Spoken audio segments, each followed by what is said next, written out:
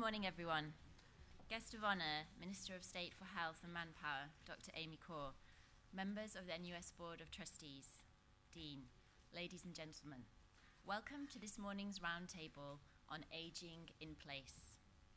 My name is Victoria, and I'm a research associate with the Singapore Research Nexus, and I will be your MC for the next few hours. Thank you all very much for coming today for what promises to be a very rewarding programme. Thank you, firstly, to the Faculty of Arts and Social Sciences co organisers, the Singapore Research Nexus and Health Cluster.